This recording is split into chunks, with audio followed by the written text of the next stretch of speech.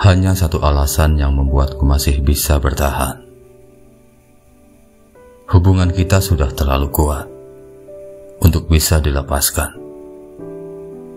Walau terkadang aku merasa sudah tak ada lagi cinta di antara kita. Kita hanya menjalani apa yang sudah menjadi komitmen.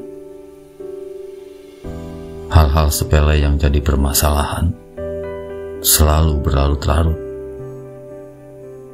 Hingga rasanya lebih baik banyak diam dan berbicara seperlunya.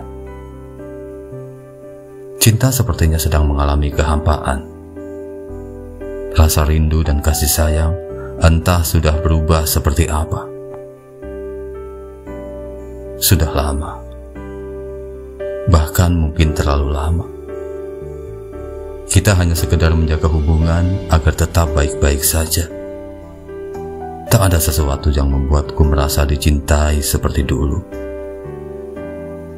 Semua terlihat biasa-biasa saja. Terasa datar.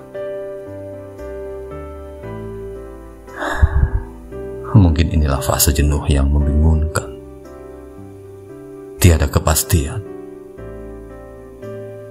Bukannya aku tak cinta, tapi harapan sebuah kebahagiaan mulai terkikis.